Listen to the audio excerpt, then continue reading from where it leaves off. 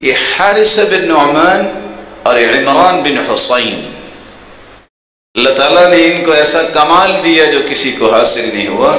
تیس سال تک عمران بن حسین رضی اللہ تعالیٰ عنہ بیمار رہے۔ لیکن تیس سال کے اندر لا شکا ولا بکا ولا تذمر ایک دن بھی کسی انسان کے سامنے نہ رو کے دکھایا۔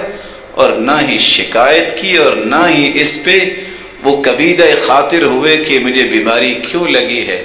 حالت یہ تھی کہ تہجد پھر بھی نہیں چھوڑتے تھے اور جب صبح وضو کر کے بیٹھتے تو یہ واحد صحابی ہیں کہ فرشتے آ کے ان سے مصافحہ کیا کر